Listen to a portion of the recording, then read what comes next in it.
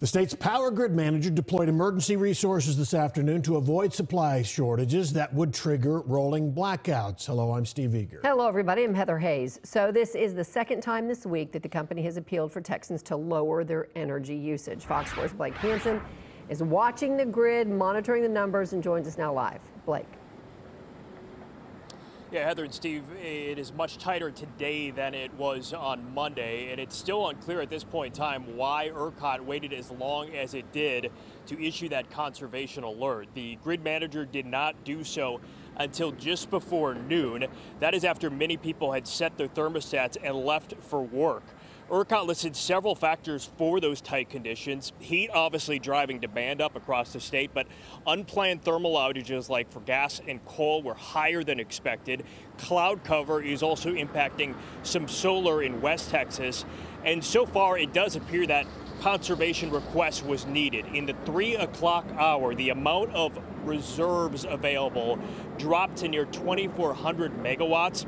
If we had got to 2,300 megawatts, or if we do later this afternoon, that would trigger an energy alert level. A further plunge could lead to rolling blackouts. So the move to wait to issue that conservation appeal has puzzled some. I can't explain it. I don't understand it, and I can't explain it. It doesn't. I mean, looking at it this morning, there. If you're if you're going to make a conservation call when when things look, uh, if you were going to make one for Monday, you, then you would certainly make one today. Today looked worse than Monday.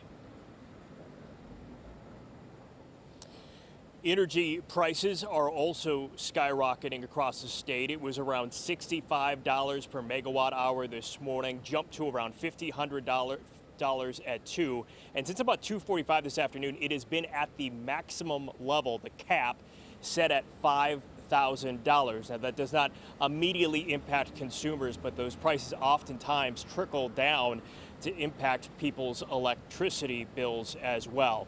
Right now, it has been fluctuating around in uh, uh, shortly or below 3,000 megawatts to this point in time. So we do not have that uh, energy alert level one just yet. But again, that conservation appeal goes until 9 o'clock tonight. That's how long they are urging people to especially stay away from using those major appliances that use a lot of energy.